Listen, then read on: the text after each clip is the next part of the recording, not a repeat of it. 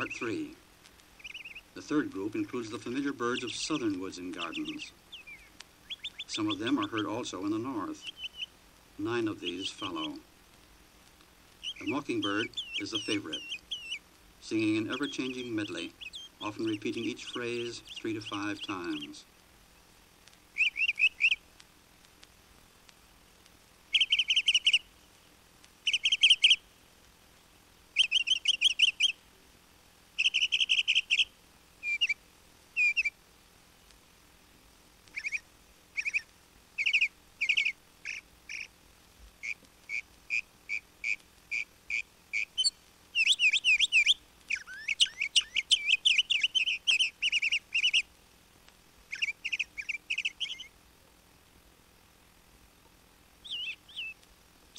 Brown thrasher's song is similar, but each phrase is seldom repeated more than twice.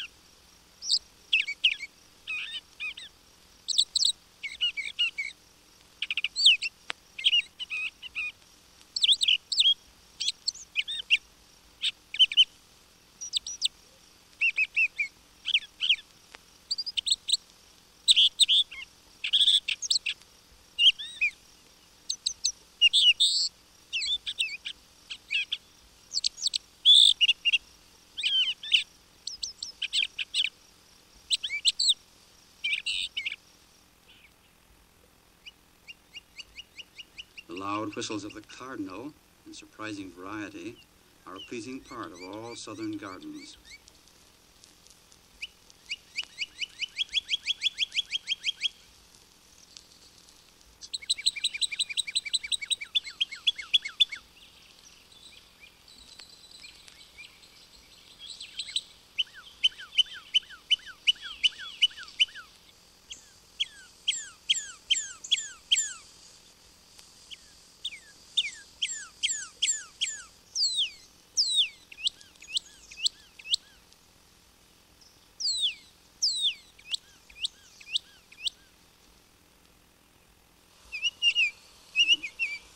Hesitating whistle of the summer tanager suggests an oriole.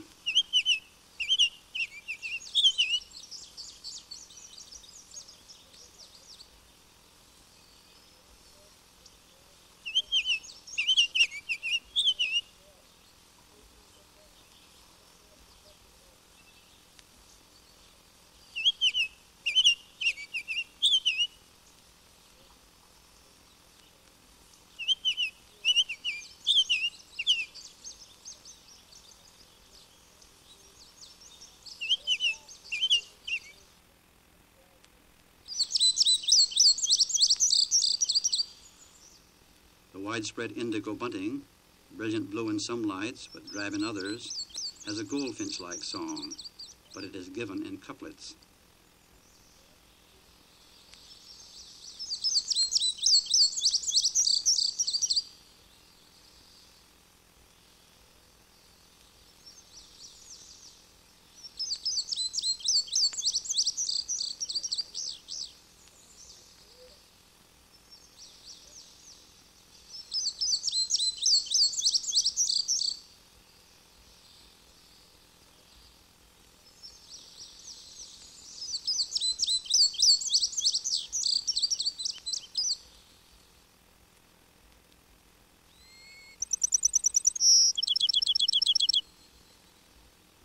Pine wood sparrow varies its phrases, but maintains a plaintive quality throughout its range. This bird in southern Ohio is one of the northern race called Bachman sparrow.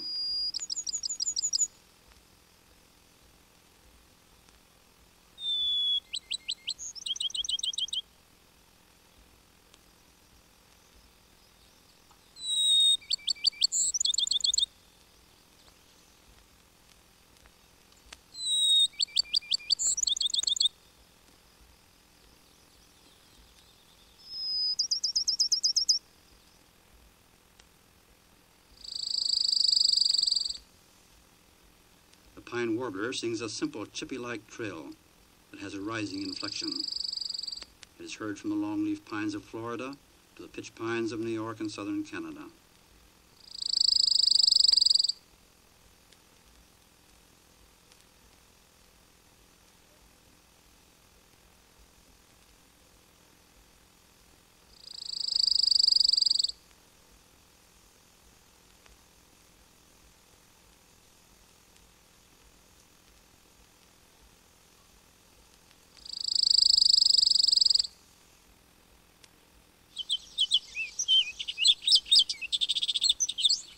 Lively song of the orchard oriole is familiar roadside music.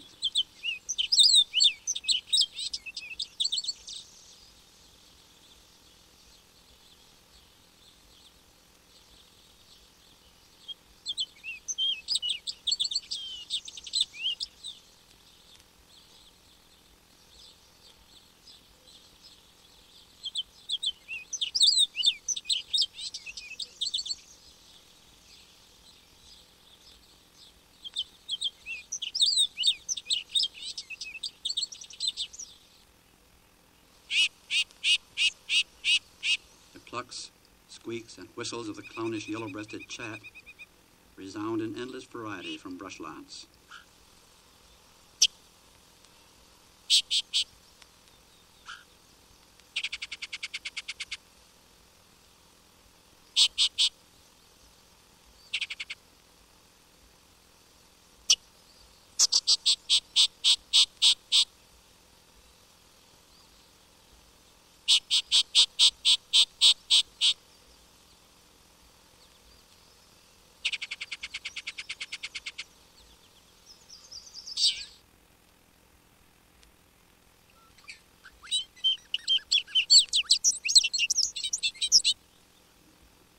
4. The fourth group of birds are those that shun the woods and gardens and frequent the treeless fields and prairies. The first of these is the bobolink, whose rollicking notes are heard at their best when it hovers over the daisies and buttercups of its chosen meadow.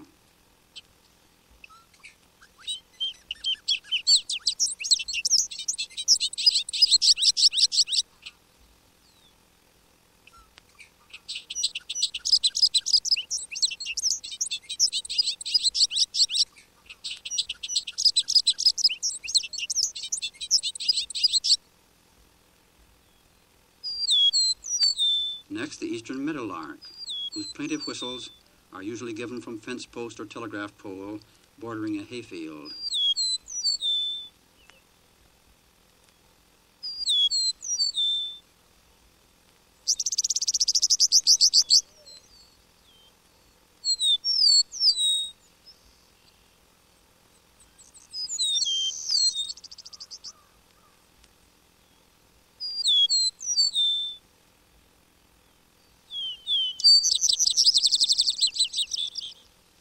Vesper sparrow likewise sings from the roadsides along old meadows, especially in the evening when other birds are silent.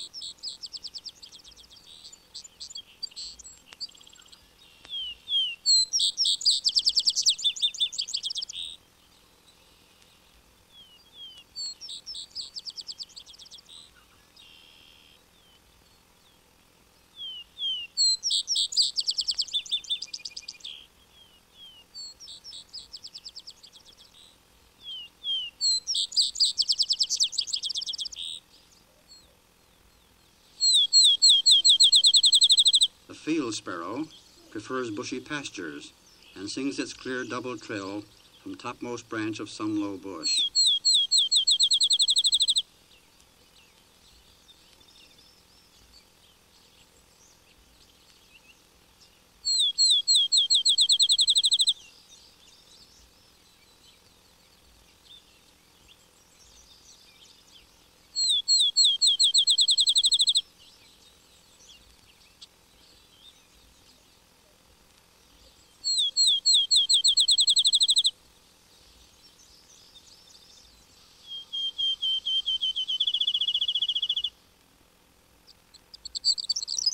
The prairie horned lark prefers barren fields with sparse vegetation. It sings best from high in the air, but on this record, it is singing from a boulder in a field near a noisy road.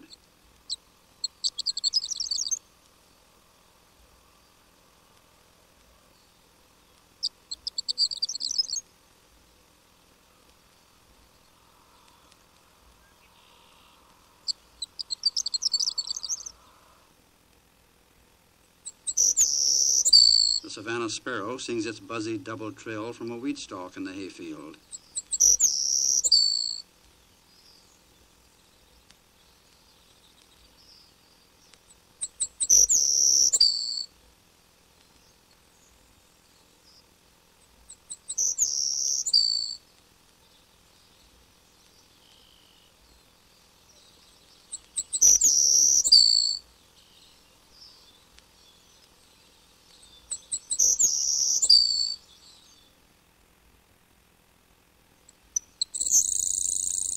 Single high trill of the grasshopper sparrow is even more insect-like. To show its complexity, however, the last song will be replayed at one-fourth speed and thereby be reduced in pitch two octaves.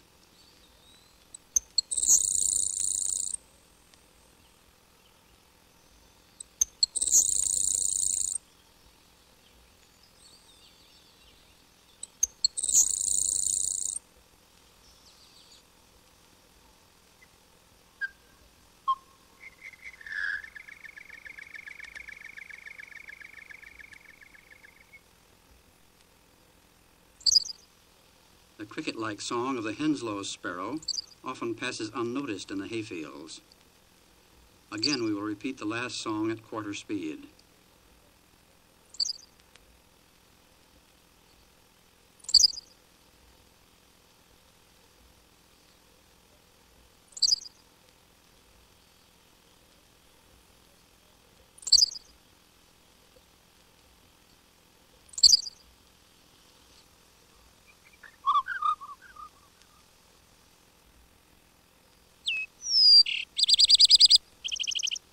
Like the horned lark, the lark sparrow prefers barren fields for its home.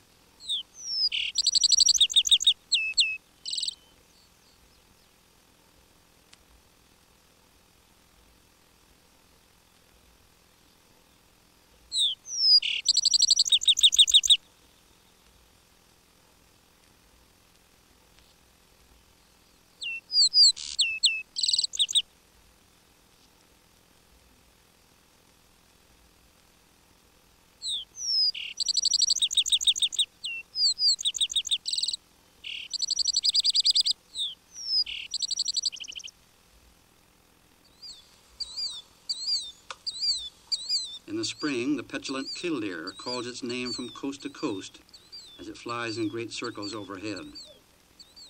In the fall, on airport, golf course, or lakeshore, its varied calls make up a noisy chorus.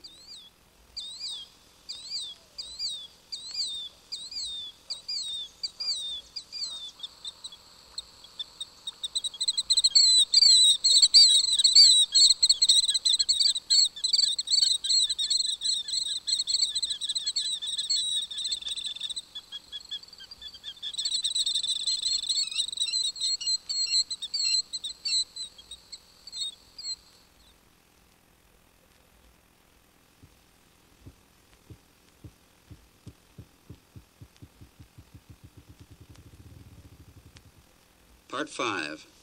The next group of 13 birds are best known as game birds, and the favorite in the woods of northern United States and Canada is the ruffed grouse, which mounts to a drumming log and produces spring thunder with its wings.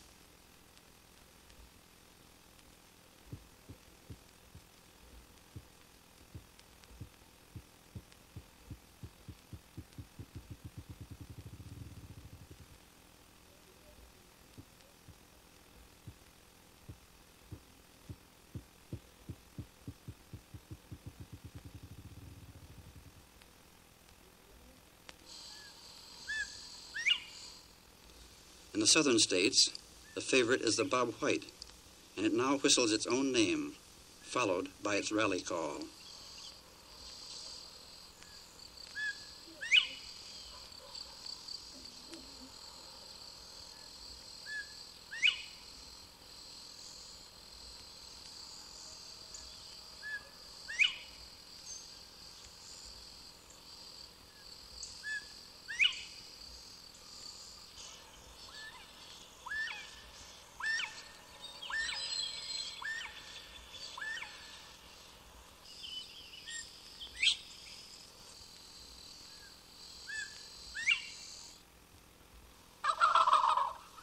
Gobbling of wild turkeys is no longer heard north of Pennsylvania, but from Georgia to Arizona, they still occur in favored places. This is one of a flock on the Aransas Wildlife Refuge, Texas.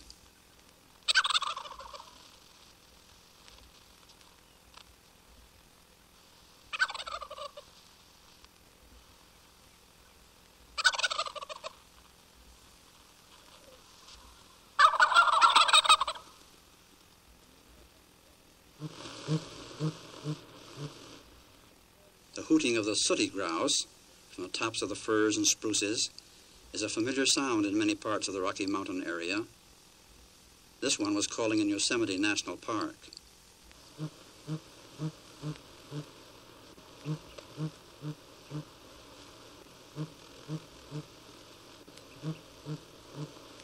Mm-hmm. Booming of prairie chickens can still be heard during the spring in some of the north central states in southern Canada. Here they are calling in Wisconsin.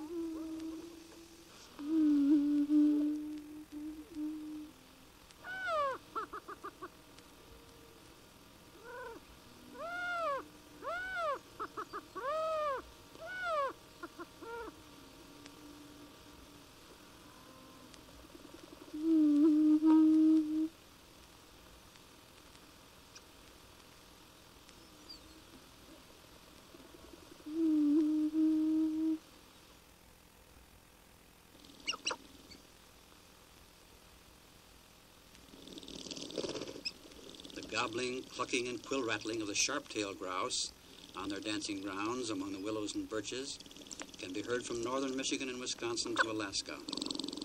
Recorded in Wisconsin.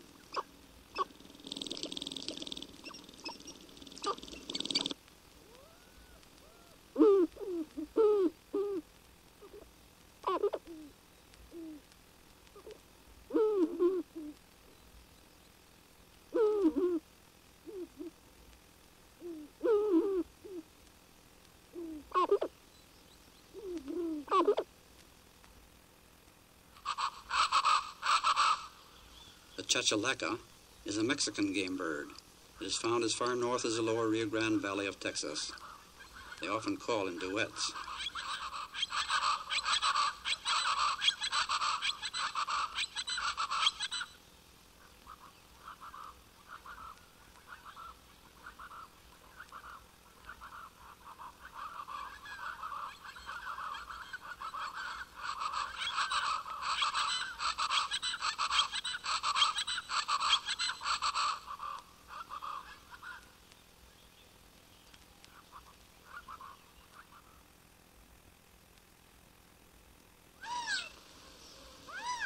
Deserts of the southwest, the Gambel's quail is the favorite game bird.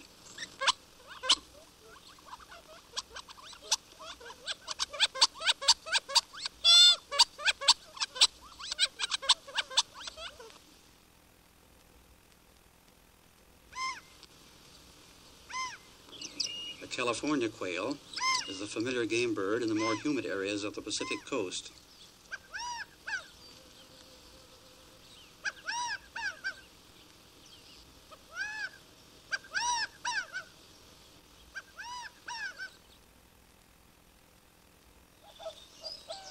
The migratory white-winged dove is considered a game bird in the states bordering Mexico.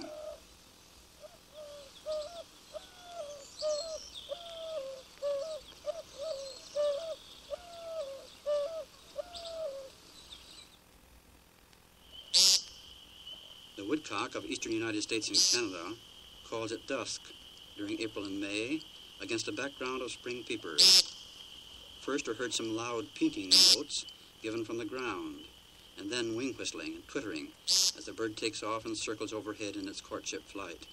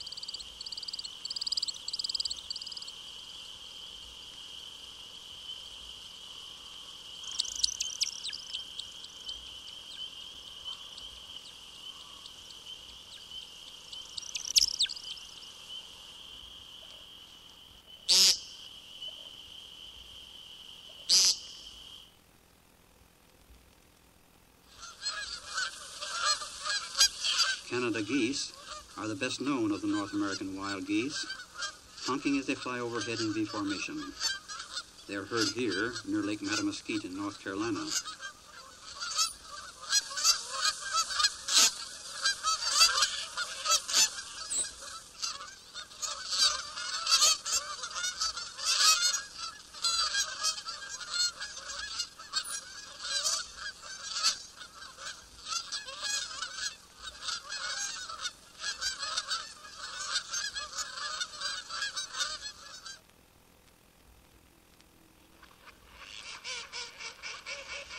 Mallards are the most widespread and best known of all the wild ducks throughout the northern hemisphere.